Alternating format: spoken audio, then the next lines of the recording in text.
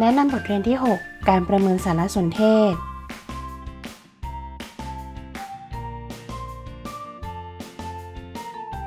การประเมินสารสนเทศอย่างมีวิจารณญาณ โดยใช้เกณฑ์การประเมินสารสนเทศ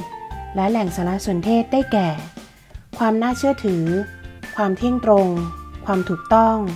ความชัดเจน มีความครบถ้วน ความทันสมัย จึงมีการอ่านเพื่อประเมินคุณค่า วิเคราะห์ และสังเคราะห์สารสนเทศ เพื่อเลือกสรรสารสนเทศ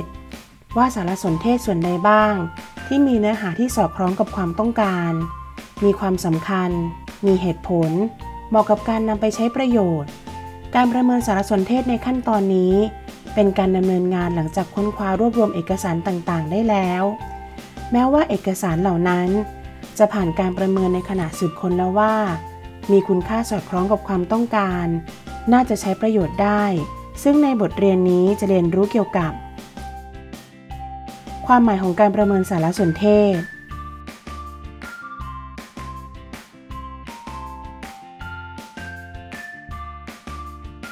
การวิเคราะห์สารสนเทศ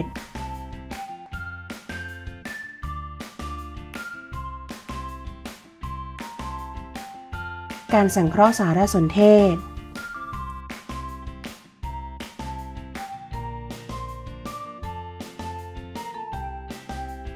ขั้นตอนการประเมินสารสนเทศ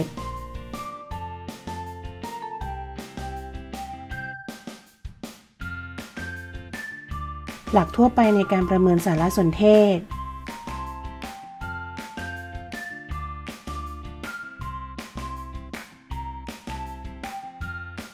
การประเมินหนังสือ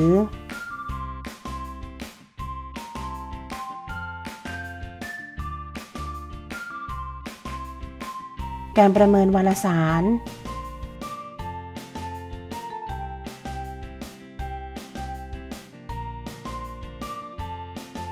การประเมินสารสนเทศจากอินเทอร์เน็ต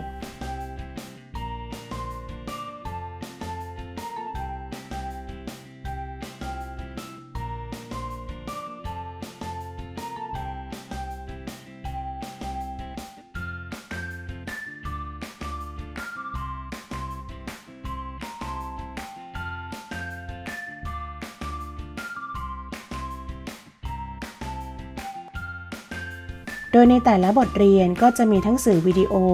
และสื่อเนื้อหาตามความเหมาะสม มีแบบทดสอบก่อนเรียน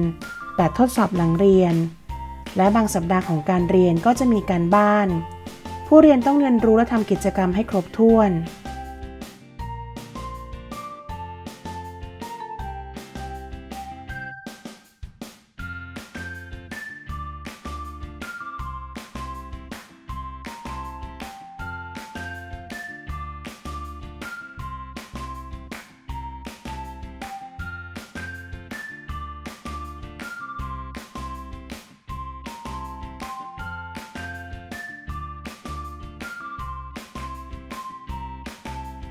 ขอให้มีความสุขกับบทเรียนค่ะ